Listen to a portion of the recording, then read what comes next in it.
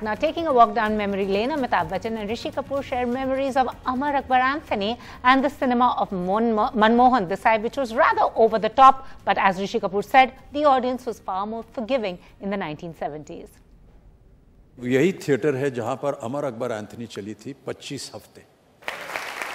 और चिंटू ने बताया कि अमर अकबर एंथनी 25 हफ़्ते चली 25 थिएटर में मुंबई सिटी के एक शहर में 25 थिएटर 25 हफ़्ते क्या जमाना था वो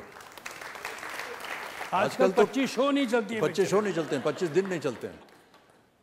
And not very many have this a journey like us, Touchwood.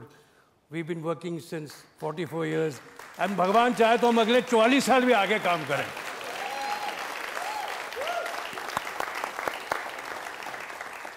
But you know, just uh, uh, to be with the the mad genius that was Manmohan Desai, it was a, a, huge joy. We used to sit and laugh sometimes off the set.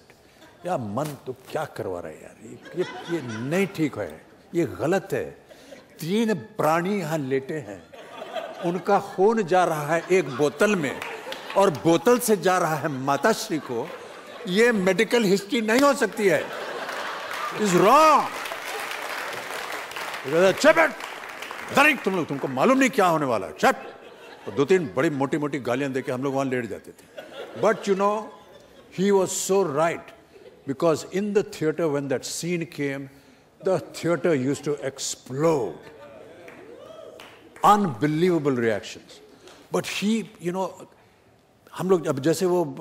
कई ऐसे scenes थे और उसकी कहानी देखिए अमर अकबर एंथनी का climax का गाना है। आ, आ, एक जगह जब जमा हो तीनों अमर अकबर एंथनी तीनों गा रहे हैं। और विलन को पता नहीं कि अमर अकबर एंथनी